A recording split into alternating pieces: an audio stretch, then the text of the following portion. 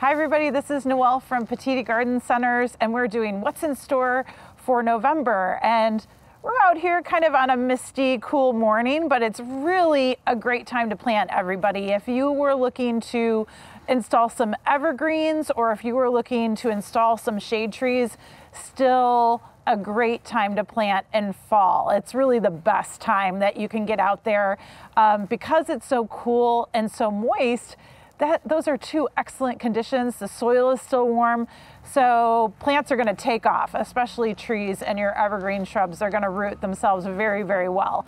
Um, so I wanted to show you some of these beautiful maples I have behind me. I first have Autumn Blaze. Now, Autumn Blaze is this beautiful um, Freeman maple. So Freeman maples are kind of a cool cross between a silver maple and a red maple. And don't roll your eyes. Oh my gosh, not a silver maple. But here's the thing. Freeman maples took the best qualities of both those plants and put them into autumn blaze. So you have a really fast growing tree, that's what they get from the silver maple, but you have the beautiful red foliage from the red maple. So autumn blaze is an awesome one. It is a taller shade tree, or a taller maple, I should say. So right around that like 45 feet mark. So just be aware of that. And then right next door, we actually have a shorter red maple. It's called Sun Valley. And Sun Valley, actually, is it this one? Yeah, Sun Valley. You can see the colors are a little bit different between the Autumn Blaze and Sun Valley. Um, Sun Valley has a little bit more uh, color variation on it. This is purely a red maple, but we, what we like about it in the landscape is it's a little bit shorter. So we're talking about the 30 foot mark on these plants. Both of these trees, great branchers, fast growers um, really will fill in nicely for you. And of course, give you that awesome fall color that we're always looking for at this time of year. Actually, we're gonna keep on walking. We're gonna go over to the oaks um, because they are coloring up really nicely. But I have this other cool tree to show you. It's actually called a black gum. Um, Nyssa is the botanical name for this and this one is wildfire.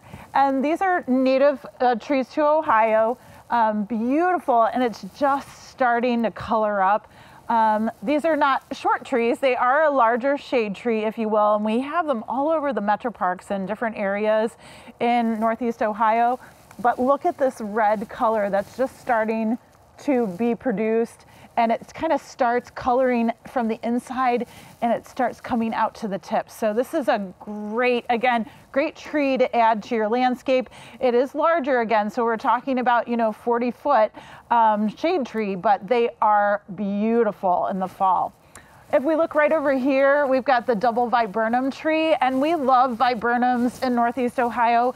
They're really a versatile plant. You can grow them in full sun, pretty much almost full shade. They won't provide a lot of color for you if you have them in a, a deeper shady aspect, but they'll still survive and grow. Um, we commonly use them for like a hedgerow or something as like a divider between two property lines. Um, but this double file viburnum, of course, is a tree type, okay? So trunk below and then beautiful foliage and you're starting to notice that foliage color is a really nice burgundy. The double files, I really should say most of the viburnums go through lots of different color changes throughout the fall season. Um, this one's turning a really, really deep burgundy, so absolutely love it. And of course, double files are always unique because their branching kind of goes horizontally, if you will. So they're uh, kind of a really cool kind of reaching out type shrub and tree, obviously. And then the oaks are on the next one, sorry. So we have some oaks down here and these are actually pin oaks. And again, folks, if you can plant an oak tree in your yard, give them a lot of space because again, we're talking about, you know, a 40, 50, 60 foot tree.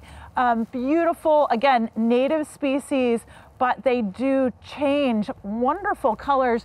These are all pin oaks here, and you're noticing the oranges, the reds, the kind of those rusty yellows or golden yellows.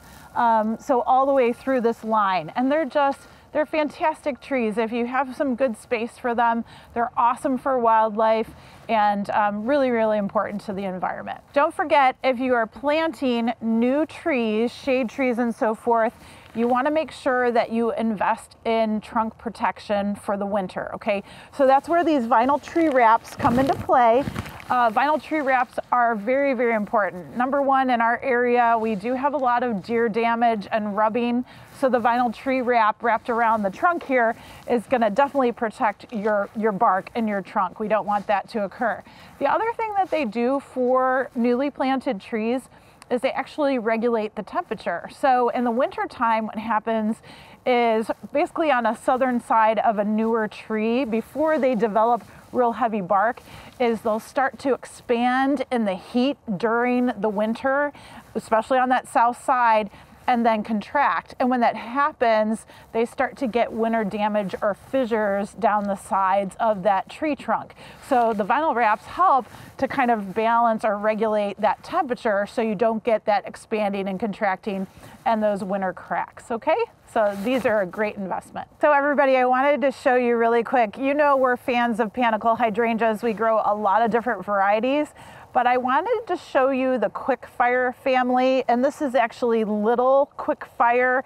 So we're talking, you know, a three foot, not even two to three foot tall and wide uh, hydrangea, lovely white to deep pink flowers.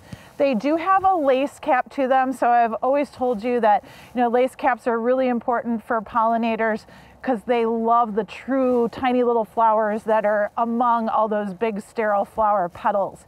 Um, but what's cool about quickfire that I find is probably the best fall foliage color out of all the panicle hydrangeas. Don't get me wrong, the panicle hydrangeas will change colors, mostly gold colors, a little bit of orange, but look at quick fire through here. The stems turn that bright, uh, deep, deep scarlet red to burgundy, and the foliage really turns a nice, beautiful reddish maroon color. So I love them. I think they're fabulous. Okay, great time to plant evergreens. Again, um, uh, just best time of the year to do it.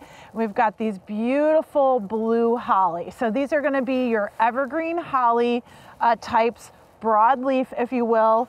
Uh, many of them do have sharp needles, so just be aware. Uh, but they make a perfect plant for foundations, hedges, um, even just a focal point plant. And the females bear those berries. So sometimes you have yellow berry, red berry more commonly, um, but they're awesome for the birds out there. So if you're really looking to attract the birds over the winter, that's a, a great plant to grow. And any of the hollies would be great for the birds. This one actually is Castle Wall. This is a variety that has um, a little bit more of a pyramidal shape to it, but you can see some of this new growth is kind of coming straight up. It is a taller variety. It's like a hedge variety, if you will, five to eight foot tall. Now, Castle Wall, if you look at it, there's no berry growth. It's the male, okay? So hollies, you need a female and a male. Male, of course, will create the berries for the female. So Castle Wall actually goes with Castle Spire, which is a little bit further down. That's the female, and you're gonna see the berries on that. So look for that. When you're shopping for hollies and you're looking for, you know, some evergreen color, you wanna check out, make sure you at least have one male for your female holly bushes. The one right next door that I wanted to show you is Red Beauty. I mean, look at this. look at this holly. Um, gorgeous holly, pyramidal shape, fairly dense as far as the growth is concerned. Obviously, she can be pruned and shaped, but obviously a female. Deep, deep red berries. Watch out for this one. She is quite sticky, okay? She does have uh, quite a few thorns here, but we love that because the deer and the bunnies and everything else is gonna stay away from it. So check out Red Beauty. She's really fantastic. And then here, this is actually Castle Spire. So again, similar habit to Castle Wall, but because it's the female, there's some actually some uh, flowering on it occurring right now, and I'll show Taylor, but when you you can identify a female holly because she has a very large pistil right in the center of her flower and it sticks up okay but she's just starting to set berries these berries are really kind of a bright green color right now but they will turn a very deep red so that'll be ready for the holidays no problem okay over here we have the juniper family so uh, again if you're looking for upright um, hedging. All these varieties are going to be more upright back here. This is Spartan. So Spartan is a beautiful deep green. I love junipers because they have such a great aroma to them. But watch out for the winter time. We always want to tell you um, when we get later into November and the soil freezes, we want to make sure that we are wrapping up our junipers so you basically just take some twine and go ahead and start at the base and kind of hold the foliage back and just wrap real lightly around the plant and you can go all the way up to the top and tie it off. Um, and that works really, really well, especially when we get those heavy snows and wet snowfalls and it starts to bring those branches down and split the plants. Um, so it's always really good to wrap them. You can use burlap as well if you don't have twine on hand, um, but that's always a really good thing to do with your arborvitae and your upright junipers as well. So Spartans here, about 10 to 15 foot tall. We have Moon Glow, which I love this color, that silvery blue color. It's so beautiful out there. Very similar height and um, width to Spartan again, so about 10 to 15 foot tall. Beautiful, beautiful foliage. We have Skyrocket. Skyrocket is going to be the thinnest of all those upright junipers. Um, again, good blue-green color on this one, a little bit taller. So again, that 15 to 20 foot unpruned. Of course, you can prune all of them, but unpruned, it's going to get a little bit taller and stay very, very narrow. So again, all of these juniper varieties would be great to plant right now. This is a newer evergreen that we actually brought in this year. This is Pinpoint Blue. This is actually a false cypress and beautiful, very, very soft uh, fronds here, if you will, panicles, other needles. But look at how bright silvery blue this foliage is. Very soft, kind of has a softer look than some of the, the sharper junipers. But again, this one's gonna be a taller one, about 15 to 20 foot, full grown, okay? Um, they do grow slowly on the slow side. So right now, this one would be perfect for a front door, a big front door container for the holidays. So um, beautiful blue color. And then as we keep going, I have another juniper that I wanted to show you. This is Blue Point. Blue Point has a different looking needle than some of the others. Um, I showed you Spartan, I showed you Moonglow and Skyrocket, but Blue Point kind of has these short stubby needles, so it almost looks like a star. And if you're familiar with Blue Star Juniper, which is a real low one, this is kind of the upright look, if you will. So again, green blue color or blue green color, if you will, um, upright, real, real pointy. So just be aware, this is a good one to plant if you're having some deer issues and so forth. That, and really all the junipers do really, really nicely um, with deer problems in the area. Let's wrap around the corner. And I just wanted to show you that among the blues and the greens of the evergreens, of course, you can always try this beautiful bright gold. This is Forever Goldy, and I've talked about this plant before.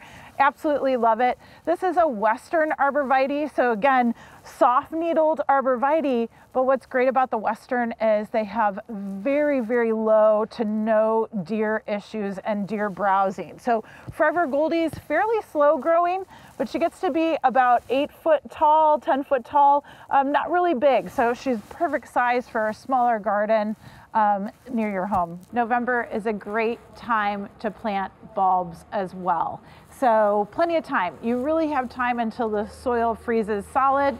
So lots of times I'm planting bulbs in the snow and it happens sometimes, but you can still come in, find some bulbs. They're really the greatest bang for your buck as far as really working out and being successful. So lots of times I'll tell my first time gardeners, try bulbs. You dig a hole, you throw them in, you cover them up. they pretty much do their thing for you. Now, don't get me wrong, lots of different varieties here. The alliums we love. Um, so those are all of your ornamental onions, small, large varieties, all different colors.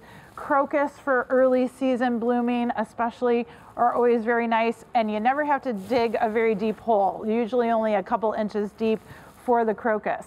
Um, definitely make sure that you use your bone meal in the hole or bulb tone down in the planting hole. That's of course going to give them that fertilizer they need, um, especially for spring blooming.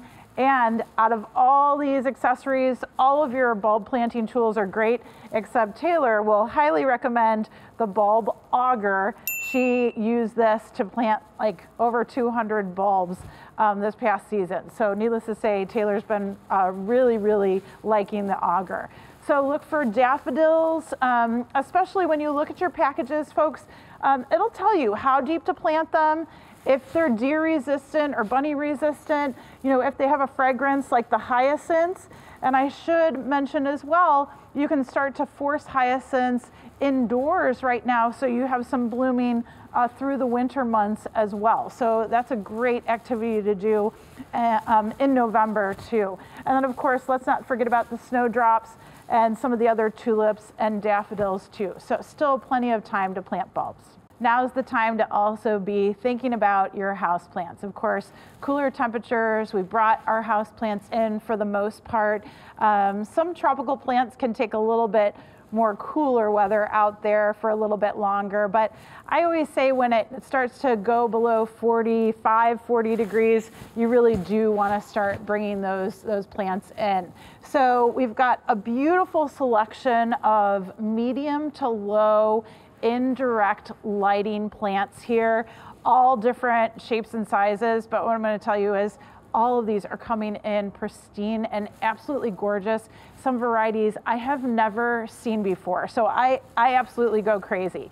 Just remember with your house plants, when you're watering in the wintertime, you're gonna want to slow down on your watering maintenance. Your watering maintenance should change throughout the growing year. So needless to say, you want to keep these guys a little bit on the drier side of watering. Try bottom watering if you've never tried that before, placing the plant in a uh, drip tray and go ahead and filling the drip tray and letting the plant absorb the water is always a cool thing to do. They'll absorb as much as they need, then you discard whatever is left over. I wanted to show you this one. This is a Dieffenbachia called Camouflage. Dieffenbachia are a very cool house plant. Their common name is called dumb cane, and they really are good plants for maybe the brown thumbs out there that are not real sure about this one, but um, look at that foliage. Absolutely gorgeous. Again, keeping them on the drier side of watering will do really well. And I also have Panther. And I love this one. Look at the spots and the freckles on it, the silver green uh, center veins. I mean, it's just, they're so cool. So camouflage and panther, those are both in the Dieffenbachia family. And then I wanted to show you this new one. This is actually Minima, and this is a philodendron, kind of like a cut leaf philodendron, very similar to Ginny. We have Ginny. Um, when, the, when the foliage is young, it's an entire leaf, and then it will start, as it gets a little bit older, it starts to have those kind of splits into it. But really beautiful foliage. Of course, your philodendron family, your Monstera family, we kind of throw them all together. Um, they're all very, very easy, low care plants. This is oblique or sometimes called a Swiss cheese plant look at the holes in that foliage. So they're not necessarily split. The leaf margin stays entire, but look at that. So again, easy plants for medium to low light. Um, and again, just kind of keep them on the drier side of watering. One thing that I did want to mention though, however, is make sure that you are increasing humidity around your house plants. So again, if they're sitting on a drip tray, put a few pebbles at the bottom, fill that drip tray up with water, and as that naturally evaporates, that's going to create that humid condition around the houseplants, or you can also spray mist them. This is a new Calathea forest. This is called Sanguinea. Um, beautiful central vein there, but look at the undersides of those leaves. So you get the idea why it's called sanguinea, that, that reddish color all through the stems and the, the bottoms of the foliage. And this one is one of Taylor's favorites. This is Beauty Star. And Beauty Star almost has like paint strokes on the foliage, light green, pink, beautiful. So Calathea, they really enjoy that um, high humidity condition, okay? So make sure, again, you're, you're increasing the humidity. And they also do very, very well if you would use distilled water or rainwater um, that you collect. They, um, kind of react a little bit differently to tap water. Okay, they can get dry edges and so forth. So um, try something like that. Okay, everybody, enjoy your November.